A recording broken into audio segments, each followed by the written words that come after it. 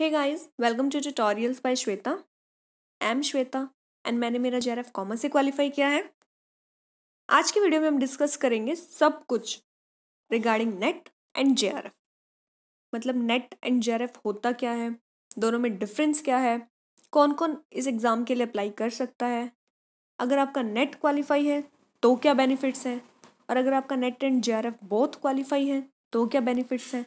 तो आज हम सब कुछ डिस्कस करने वाले हैं। आज आपके सारे डाउट्स क्लियर होने वाले हैं तो वीडियो को एंड तक ज़रूर देखना। लेट्स गेट स्टार्टेड सबसे पहले नेट और जे बहुत सारे लोगों को ये कन्फ्यूज़न रहती है कि क्या नेट और जे के लिए अलग अलग एग्ज़ाम देना पड़ता है? क्या दोनों का सिलेबस अलग अलग है? तो नहीं एग्ज़ाम एक ही होता है। फ़र्क इतना है कि दोनों की कट ऑफ़ अलग अलग जाती है। जो जेआरएफ की कट ऑफ़ होती है, वो नेट के कंपैरिजन में near about eight to ten percent high जाती है।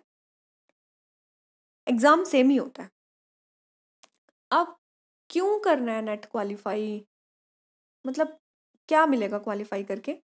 तो अगर आप, कोई, हर कोई चाहता है कि गवर्नमेंट जॉब चाहिए तो अगर आपको गवर्नमेंट जॉब चाहिए, अगर आप गवर्नमेंट कॉलेज के अंदर एज एन असिस्टेंट प्रोफेसर पढ़ाना चाहते हो तो ज़रूरी है कि आपने नेट क्वालिफाई किया हुआ और इन केस, क्योंकि वैकेंसी पे भी डिपेंड करता है, इन केस अगर गवर्नमेंट कॉलेज के अंदर वैकेंसी नहीं है तो आप प्राइवेट कॉलेज के अंदर भी पढ़ा सकते हो। तो अगर आप चाहते हो कि आपको असिस्टेंट प्रोफेसर बनना है तो ज़रूरी है कि आपके पास नेट जे क्वालिफाई हो। जेआरएफ नहीं तो नेट तो क्वालिफाई होना ही चाहिए। बिना नेट क्वालिफाई के आप असिस्टेंट प्रोफेसर नहीं बन सकते। अब अप्लाई कौन कर सकते हैं इस एग्ज़ाम के लिए? तो वैसे तो अगर आपने अपनी मास्टर्स कर रखी है तो आप इसे कोई भी इस एग्ज़ाम के लिए अप्लाई कर सकता है। बट मेन जो कन्फ्यूज़न है वो ये आती है कि क्या परस्यूइंग मास्टर्स भी इस एग्ज़ाम के लिए अप्लाई कर सकते हैं?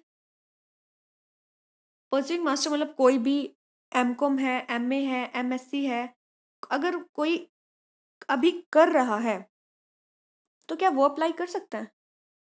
तो बेशक आप किसी भी ईयर में हो फ़र्स्ट ईयर सेकेंड ईयर या उसमें भी किसी भी सेमेस्टर के अंदर हो, आप इस एग्ज़ाम को दे सकते हो। Yes yes. कोई फ़र्क नहीं पड़ता। अगर आप मास्टर्स कर रहे हो तो आप इस एग्ज़ाम को दे सकते हो। बस शर्त यह है कि आपकी masters within two years complete होनी चाहिए। अगर आपने विद इन टू ईयर्स अपनी मास्टर कंप्लीट नहीं की तो आपका जो नेट का फॉर एग्ज़ाम्पल अगर आपने, आप एम कॉम के अंदर हो, आपने सेकेंड सेमेस्टर के अंदर एग्ज़ाम दिया और आपका नेट जे क्वालिफाई भी हो गया। बट इन केस अगर आपकी री आ गई तो आपका जो नेट का सर्टिफिकेट था नेट जेआरएफ का जो सर्टिफिकेट था, वो आपका कैंसिल कर दिया जाएगा। एक्चुअली बहुत कम केसेस में होता है ऐसे। कि आपने नेट जे क्वालिफाई कर लिया एंड आपकी मास्टर्स मेरी आ गई। बट फिर भी हमें केस लेके चलना पड़ेगा। तो या आप मास्टर्स के किसी भी ईयर में हो, किसी भी सेमेस्टर में हो, आप इस एग्ज़ाम के लिए अप्लाई कर सकते हो। बस शर्त यह है कि विद इन टू ईयर्स आपकी मास्टर्स कंप्लीट होनी चाहिए। अब what after qualify NET NET qualify करने के बाद आपको क्या क्या अपॉर्चुनिटीज़ मिलेंगी? क्या क्या बेनिफिट्स हैं? तो वो देखते हैं। सबसे पहला बेनिफिट तो यही है। अगर आपका सिर्फ़ नेट क्वालिफाई है, मैं उस केस की बात कर रही हूँ। सबसे पहले तो आप एज एन असिस्टेंट प्रोफेसर किसी भी गवर्नमेंट और प्राइवेट कॉलेज के अंदर पढ़ा सकते हो। ओके सेकेंडली एक्चुअली पहले होता था कि अगर आपने नेट क्वालिफाई कर रखा है तो सिर्फ़ आप एजुकेशन साइड में ही जा सकते हो। बट अब ऐसा नहीं है। अगर आपका आज, अब के केस में आजकल बहुत सारी ऐसी कंपनीज़ हैं, बहुत सारे नवरत्न हैं एन हैं, जो नेट क्वालिफाई कैंडिडेट्स को रिक्रूट करती हैं तो you can also go for date तो आप किसी ऑर्गेनाइजेशन के अंदर भी जॉब कर सकते हो। थर्ड अगर आपका सिर्फ़ नेट क्वालिफाई है जे नहीं है, सिर्फ़ आपने नेट क्वालिफाई किया है, और आप आगे पीएचडी करना चाहते हो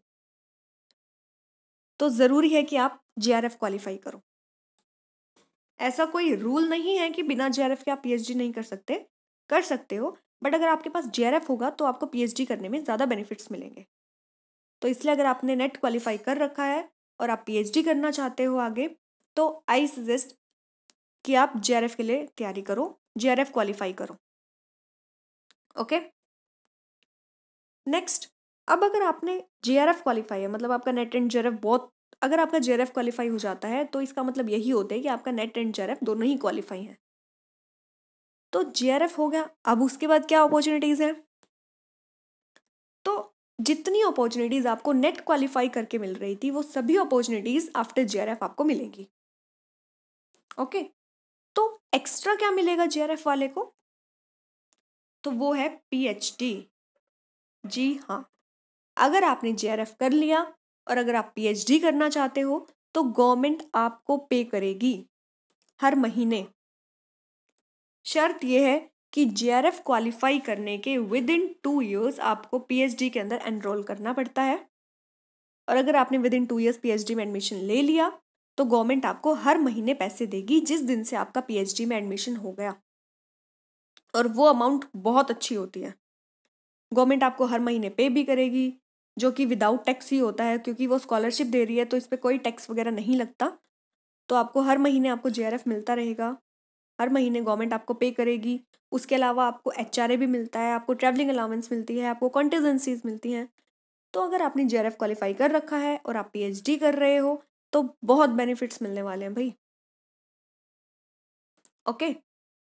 और एक बेनिफिट और, क्योंकि नया रूल है कि अगर आप यूनिवर्सिटीज़ के अंदर एज एन असिस्टेंट प्रोफेसर पढ़ाना चाहते हो तो ज़रूरी है कि आप पीएचडी कर रखी हो आपने। बिना पीएचडी वाला बंदा अब यूनिवर्सिटी के अंदर एज एन असिस्टेंट प्रोफेसर नहीं लग सकता। अगर आपका नेट क्वालिफाई है तो आप कॉलेजेस के अंदर पढ़ा सकते हो बट यूनिवर्सिटी के अंदर आप नहीं पढ़ा सकते। यूनिवर्सिटी के अंदर पढ़ाने के लिए आपके पास पीएचडी आपने कर रखा हो, आपके पास डॉक्टरेट की डिग्री होनी चाहिए। और अगर आपने जे क्वालिफाई कर लिया तो उसके बाद आप पीएचडी आराम से कर सकते हो। क्योंकि पीएचडी एक काफ़ी लंबा प्रोसेस है, आपको पाँच साल एक ही टॉपिक के ऊपर लगाने हैं।